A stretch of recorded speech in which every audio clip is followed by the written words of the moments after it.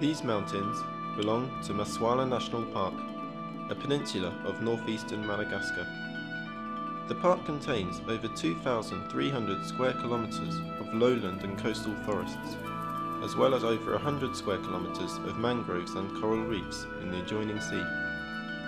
This makes it the largest protected area in Madagascar, which is itself the fourth largest island in the world. Teeming with life, its unique range of natural habitats and geography undoubtedly conceal endless wonders. In November 2005, I was offered the opportunity to join a team of ecologists on an intrepid expedition to this remote region to monitor its dung beetles.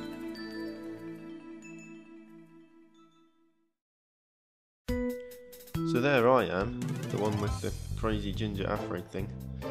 And as a maths grad turned student of ecological theory, I'm certainly no dung beetle expert.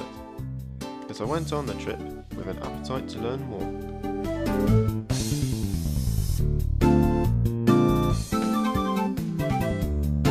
We haven't even left Finland yet. We had some problems uh, with the passports because one of the passports was a little bit torn or something. So we decided we're going to try out another plane because we didn't really like the last one. And I think now because we're having to change planes, so we have some time maybe to get a new, a new passport before the next plane. The drama of leaving Finland. Usually people might think there's some drama when you're arriving in a country so far away, like Madagascar. They got it! Way! Yes! Wow, it's a world record. That's the new record. Fast, a new fastest passport in 10 passports. I can't say why, but I just like the feel of this plane. So we, we spent the night in Paris. We, we went to the airport. There was no troubles. We had a look round. We couldn't find any nice perfumes. Uh, but we're, we're on our way. We're on the plane. We're, we're going to leave Europe behind and we're heading for Madagascar. Right, I think I'm going to a bit of sleep would be a good idea. When it rains in Tananarive, Madagascar's capital city, it does it properly.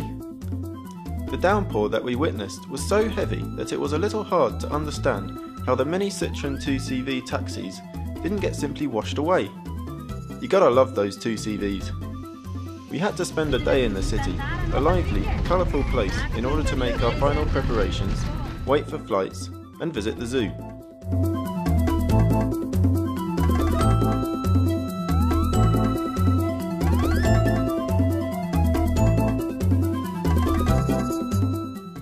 Then we were off, boarding the Air Madagascar flights bound for the northeastern coastal town of Setra.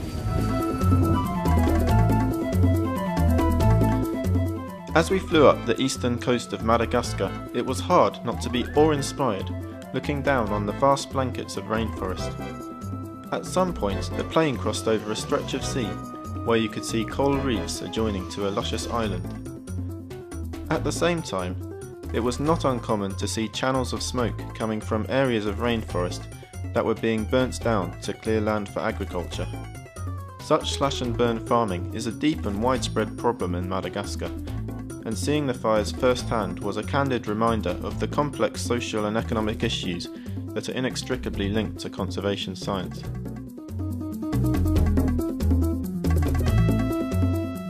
It was necessary to spend a night in Maroantsetra.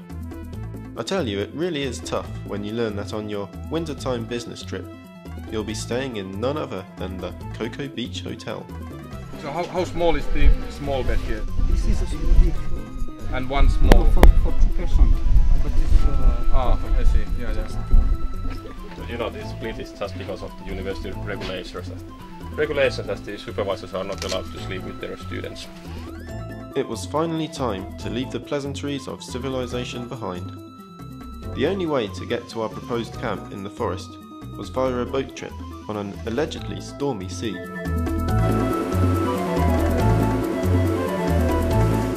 Disappointingly, however, the reality was so gentle that I almost fell asleep. I've heard the term biodiversity hotspot mentioned about Madagascar, but I'm not really sure what this means and why is Madagascar. a biodiversity hotspot? Well, Madagascar is considered to be one of the hottest uh, biodiversity hotspots uh, on Earth. Uh, in other words, a place uh, where there is a very large number of uh, species of animals and plants, uh, and many of the species which are here are only here. And the reason why Madagascar is uh, such a hot biodiversity hotspot uh, is the, in the first place, the great size of the island, uh, great diversity of uh, Yeah. uh, climate, uh, geology, and also the isolation is very important. Madagascar has been isolated for more than 80 million years from other continents, and, and therefore there's been a, a great time for new species to Yeah. evolve here. As well as in the coastal forests, we decided it would also be very interesting to monitor the dung beetles at higher elevation in the nearby mountains. High elevation brings new vegetation, and it had been conjectured that dung beetles may also be affected. We planned an expedition to last three days, taking us to the top of a nearby mountain. This begun with a scenic trip up a river in dugouts,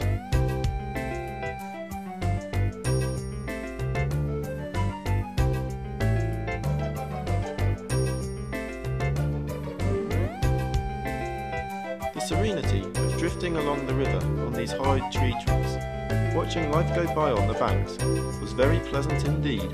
Oh yeah, that is, until we noticed the leak.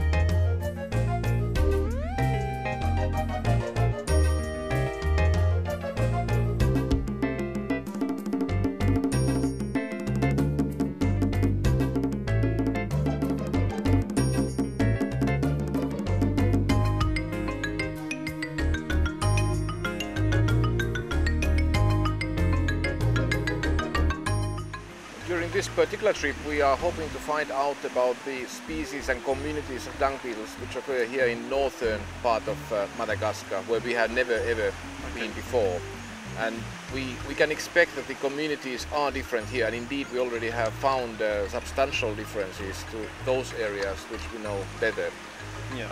Uh, partly because uh, the lemur species that we have here are, are different and, and we have a different composition of mammals and, and this is then reflected in the species composition of dung beetles.